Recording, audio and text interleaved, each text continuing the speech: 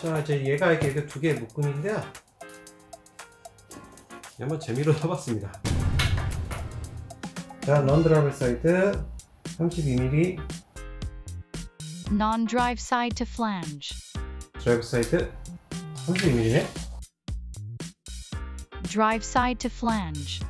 자 플랜지 58mm Non-drive side flange diameter. Drive side flange diameter. 110 Hub axle width. 일부 린들은 Effective Rim Diameter 정보가 표시되어 있습니다. 하지만 대부분의 린들은 구매처나 제조사 홈페이지에서도 ERD 정보를 얻기 어렵습니다. 이 방법은 ERD 림 정보가 없을 경우 측정 방법입니다. 중력을 이용합니다 중력을 이용해서 밸브 구멍부터 시작해서 림 내경 측정을 시작합니다. 자 보시면 이렇게 자 스포크에 잎을 이렇게 끼우시고요. 끼워주시고요.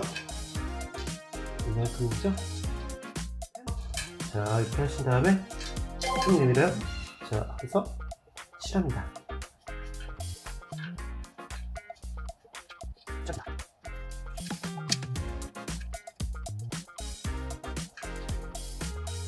자 이렇게 빼주시고요. 이제 다음에 네, 3.5mm 맞죠? 네, 이런 식으로 림 EDRD 측정할 때 내경을 측정합니다. 3.5, 3.5니까 7mm를 더하면 됩니다. 총. 그렇죠?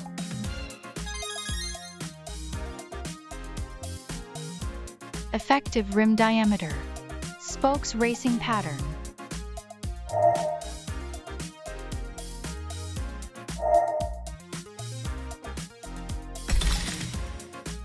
Spoke lacing pattern.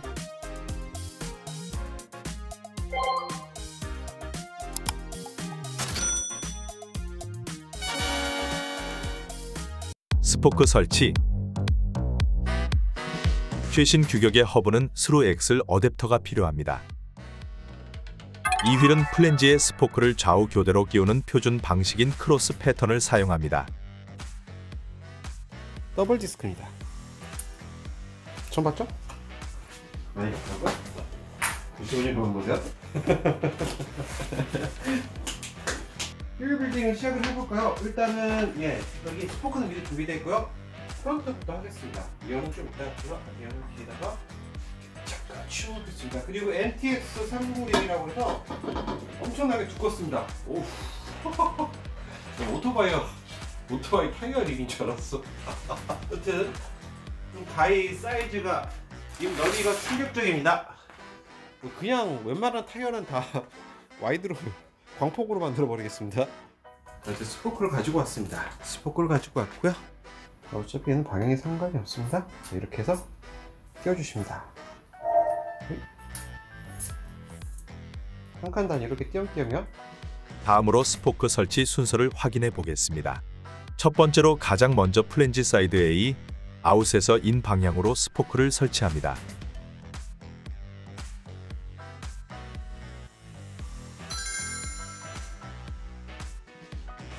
Just 한쪽 fit 면만 it 이렇게 on 먼저 one 띄워주세요. side. Jump one hole at a time.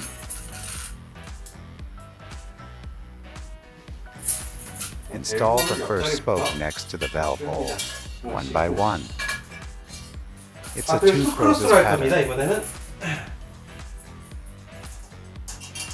Install the first spoke next to the valve hole. 아, Jump 잠깐 three 점프하고, holes and install the next spoke. 시작. 항상 끼우는 거.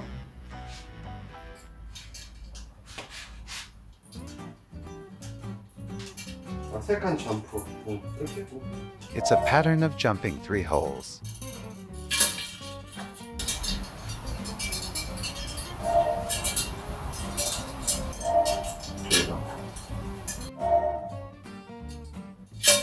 This completes the pattern. Non-drive side pattern complete. 두 번째 과정 플랜지 사이드 B, 아웃에서 인 방향으로 스포크를 설치합니다.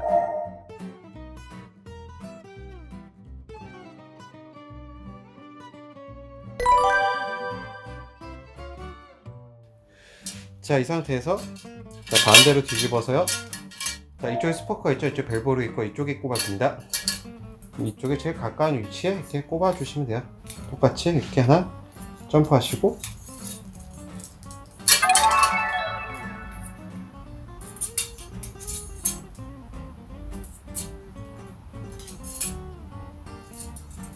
이렇게 꼽아 주시면 됩니다 자, 벨보에서 먼 방향이죠? 여기 옆자리에 그대로 꾸겨주면 됩니다. 방향대로.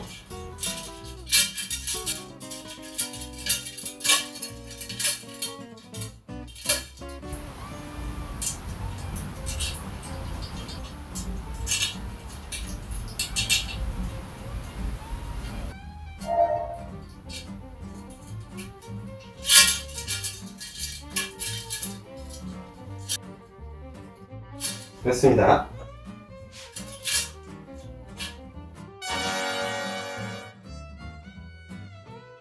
이제 스포크가 설치된 허브를 밸브 구멍 위치 반대 방향으로 돌려서 크로스 패턴을 만들어 줍니다.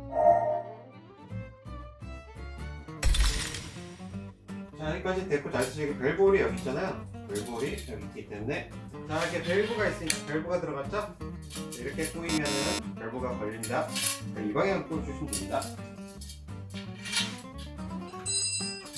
꼬아주시면 되고요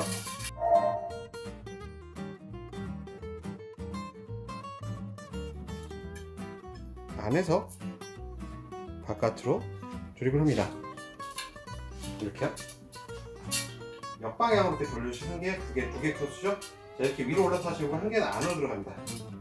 안으로 들어가서 배치를 해줍니다. 이쪽 자리겠죠?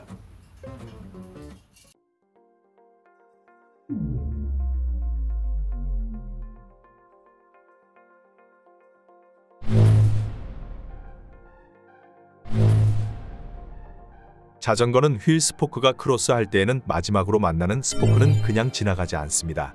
지나가는 위치를 바꿔서 오버랩 시켜서 연결을 해주셔야 튼튼한 휠 제작이 가능합니다.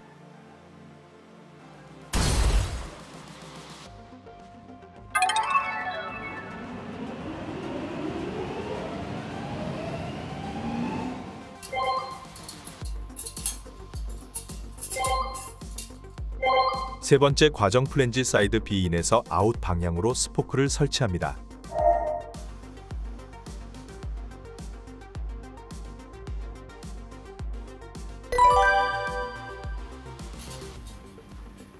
이렇게 자기 위치에 배치해 주시고 톡 끌었습니다 이번엔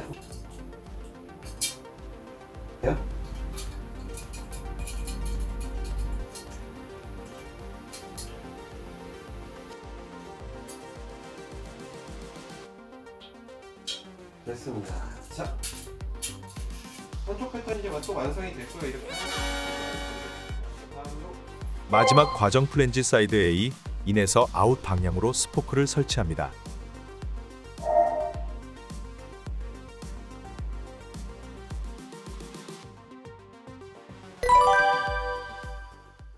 다음은 이제 이쪽으로 이렇게 끼웠습니다. 빈칸 껴주세요 다. 지난번 영상은 삭제하겠습니다.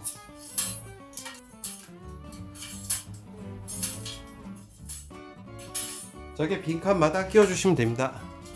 외계인 같네요. 그렇죠? 슝슝 자 이렇게 머리를 붙잡고 차- 이렇게 들고 갑니다. 이렇게.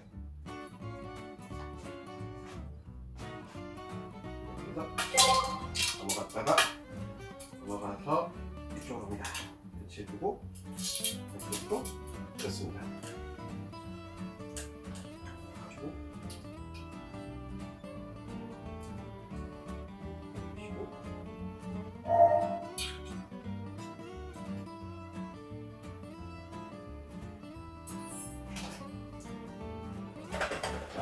자 마지막 스포크를 조립합니다. 짜잔. 음. 예, 휠 기본 패턴이 완성됐습니다. 드디어.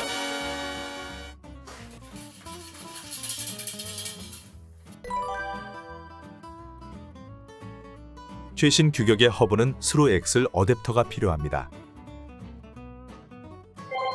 스포크 렌치를 사용해서 니플을 조이면서 휠 회전 시작과 끝을 알 수 있어야 합니다. 림 밸브 구멍 옆 스포크에 스티커 같은 태그를 붙입니다.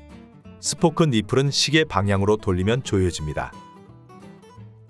1mm 스포크 나사선을 남기고 전체 니플을 조여둡니다.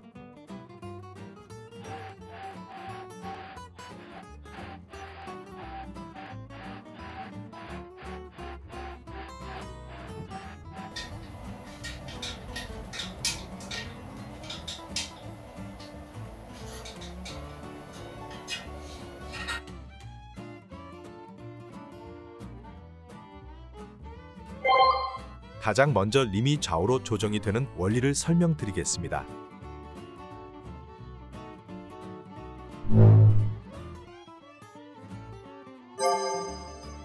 오른쪽 드라이브 사이드 스포크 니플을 조이면 림이 오른쪽으로 이동을 합니다.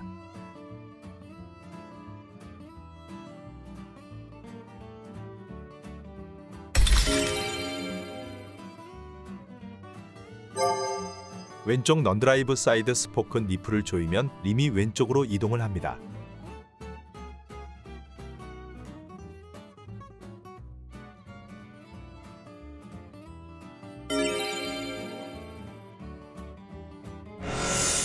왼쪽 스포크 니플을 너무 많이 조였습니다. 니플을 풀어주면 림이 다시 반대 방향으로 이동을 합니다.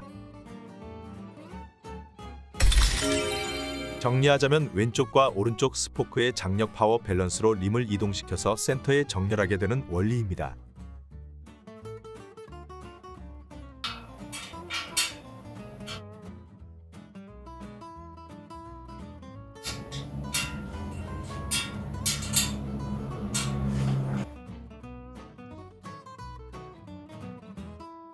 자 일단은 좌우 한 바퀴 맞춰주시고 1mm 튀어나왔고 1mm 안 튀어나왔고. 네, 좌우는 대부분 맞아서 이제 사이드 맞췄고요. 지금 상하로 지금 울렁울렁거리죠? 이렇게 상하로 잡아야 됩니다. 올려주시고. 닿는 부분들 거 붙여줍니다. 두 번째로 림 상하 정렬 방법을 알아보겠습니다. 주변 니플을 함께 조여주면 림이 허브 안쪽으로 이동합니다. 최소 360도 이상 조이거나 풀어야 림이 조금씩 이동하기 시작합니다. 주변 니플을 함께 풀어주면 림이 허브 바깥으로 이동합니다. 림의 상하 정렬은 왼쪽 오른쪽 스포크 장력이 같이 조절되어야 동작을 합니다.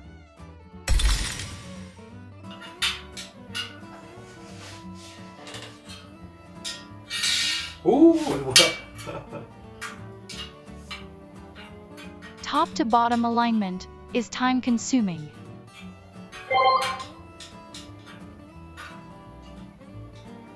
The target tension of about 90% is reached. 네, 열심히 해서 상하 단차 잡았고요 네, 상하로는 이제 뭐 거의 이제 먹습니다 휠을 조립하다 보면 휠 truing stand의 오차로 센터가 조금씩 어긋나게 됩니다. 이것을 교정하기 위해서 사용하는 공구를 휠 dishing tool 또는 centering 게이지라고 합니다. 먼저 non-drive 사이드의 dishing tool을 세팅을 해보도록 하겠습니다.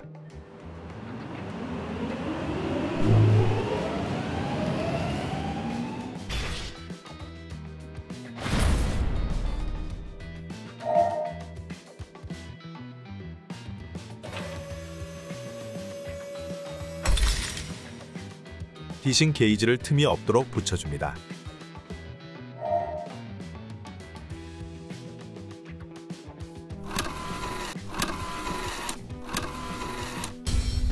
이제 게이지를 고정합니다.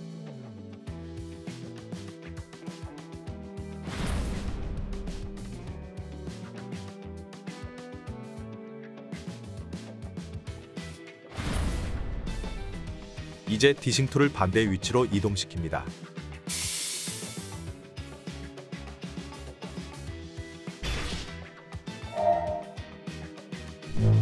측정 결과 간격이 3mm 정도 남았습니다. 림을 이동시켜야 할 공식입니다. 3mm 게이지 측정값에서 나누기 2를 해주시면 림 이동거리 계산이 가능합니다. 계산 결과 2mm 림을 이동시켜주면 됩니다. 왼쪽 니플은 한 번씩 조이고 반대쪽 니플은 한 번씩 풀어서 림의 위치를 조정을 합니다. 그러면 스포크의 장력 변화 없이 이동이 가능합니다.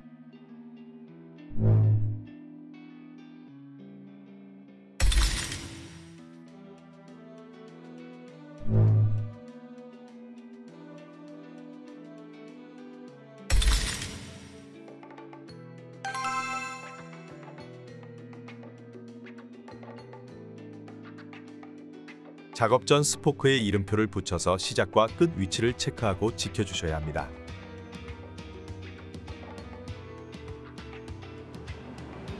다시 처음부터 검사를 시작합니다.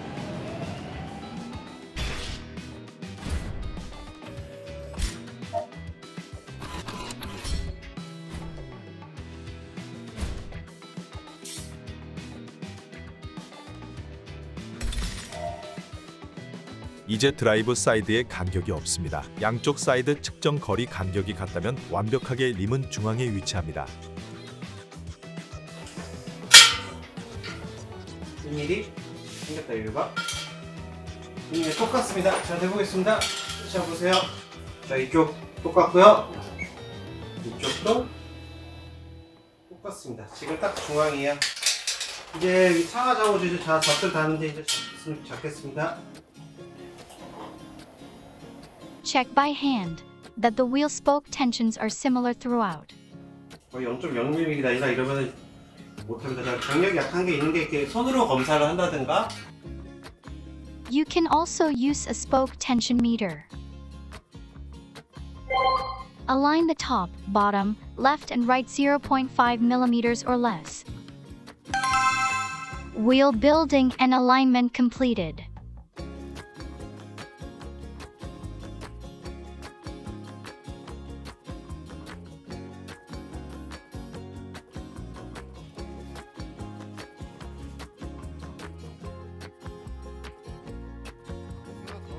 네, 상하 좌우 얼라이먼트가 잘 됐습니다. 성공입니다.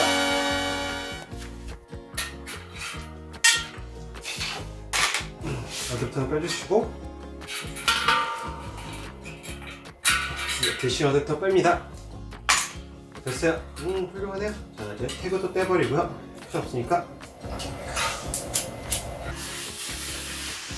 자, 테이핑 작업을 했고요.